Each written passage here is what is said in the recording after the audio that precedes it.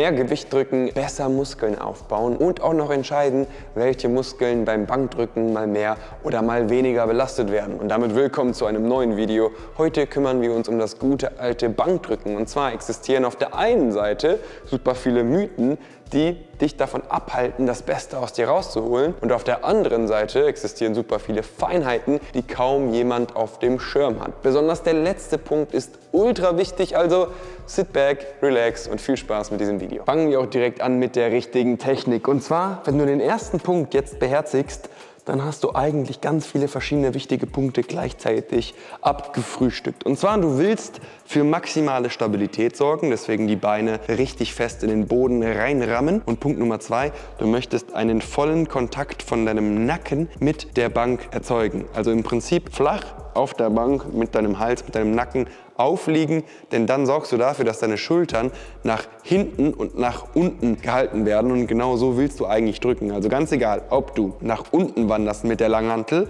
oder eben nach oben. Du möchtest diesen vollen Nackenkontakt zur Bank nicht verlieren. Also Beine in den Boden rammen, Brust hoch und einen vollen Nackenkontakt mit der Bank gewährleisten. Und dann hast du im Prinzip zwei verschiedene Optionen. Möchtest du maximal viel Gewicht bewegen, dann musst du die größtmögliche Brücke machen, die du eben erzeugen kannst. Denn dadurch reduziert sich die Range of Motion und dadurch kannst du natürlich mehr Gewicht bewegen. Aber wir wissen, dass gerade dieser Teil, wo der Muskel richtig stark gedehnt wird, dass dieser Teil extrem stimulativ ist. Und wenn du sagst, yo, ich möchte aber mit dem Bankdrücken maximal viel Muskeln aufbauen, dann würde ich mit der Brücke nicht übertreiben, sondern einfach nur so viel machen, also so eine starke Brücke machen, sodass du einfach maximal stabil drücken kannst. Und that's it. Also nicht irgendwelche Gymnastikübungen machen. Hilft, wenn man maximal viel drücken möchte, aber nicht unbedingt, wenn man den bestmöglichen Reiz setzen will. Nächster Punkt und zwar, wie breit sollte man greifen? Leni, wie breit sollte man greifen? Man herausfinden. Richtig, es hängt nämlich von zwei verschiedenen Faktoren ab. Zum einen, was ist dein Ziel? Möchtest du eher deinen Trizeps trainieren oder was auch immer? Dazu später mehr.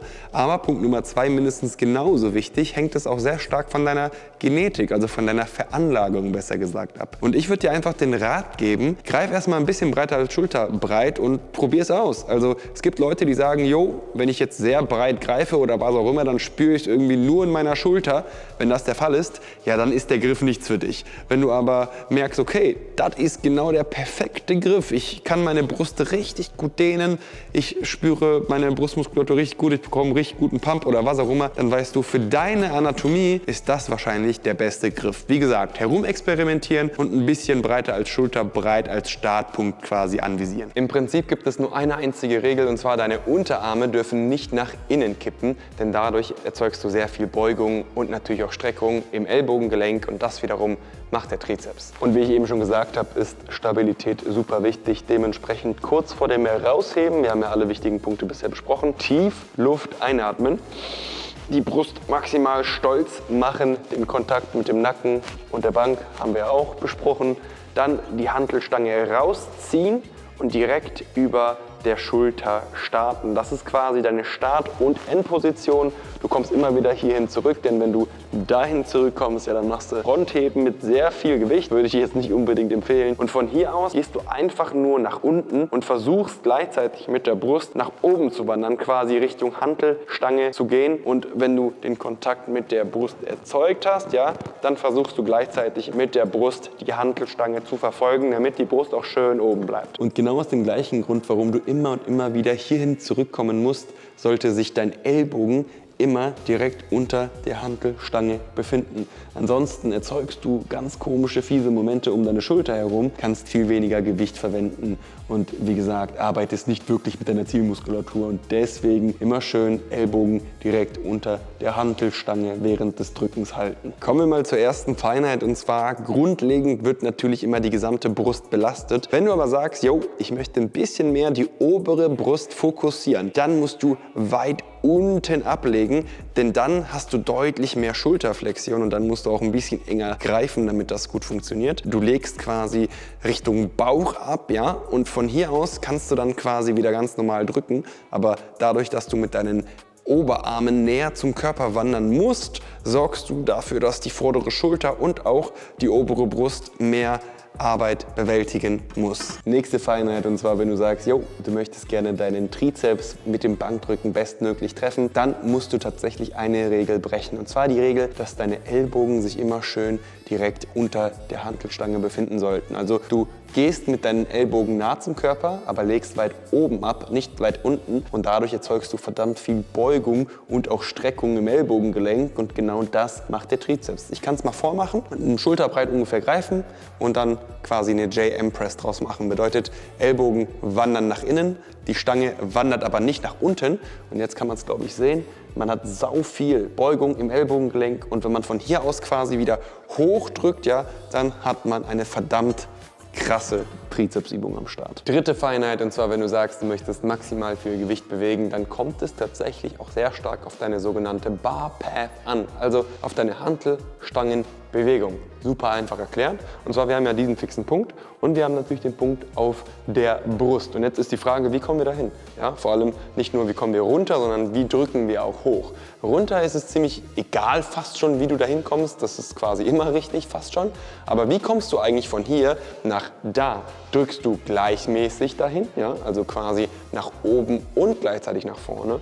Oder drückst du erst nach vorne und dann nach oben oder machst du genau das Gegenteil? Also du drückst erst zum Kopf und wanderst dann nach vorne. Und tatsächlich ist der letzte Barpath der Barpath, mit dem du wahrscheinlich auch am meisten drücken kannst. Option Nummer eins: einfach runter auf die Brust, Kontakt und quasi erst nach oben und dann über die Schulter. Würde ich keinem empfehlen. Option Nummer zwei: runter auf die Brust, Kontakt mit der Brust, dann gleichmäßig hoch. Das ist mehr oder weniger so der klassische Druckweg oder wie auch immer.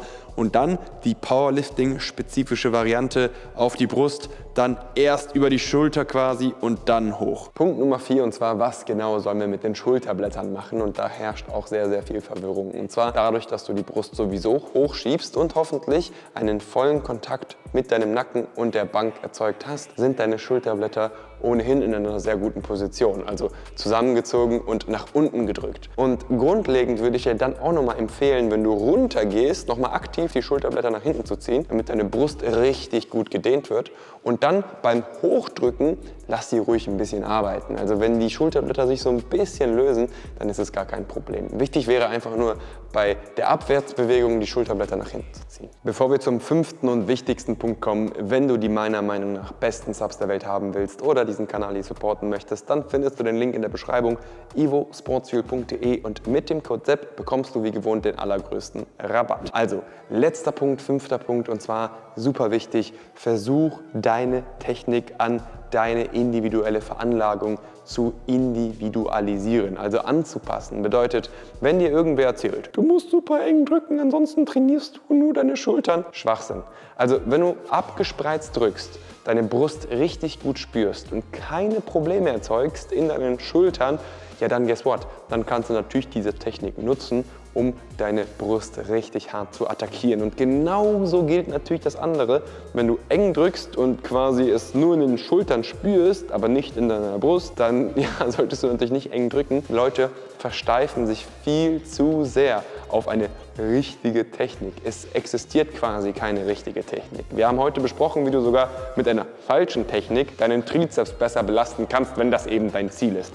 Es ist immer super kontextabhängig und deswegen kann ich dir einfach nur das mit auf deinem Weg geben. Versuch erstmal ganz viel aus, probier herum, experimentier herum und dann findest du auch für dich die beste Technik, mit der du die größten, besten, wildesten Erfolge verzeichnen kannst. Und damit Daumen nach oben nicht vergessen, abonnieren, Glocke anmachen und wir sehen uns im nächsten Video.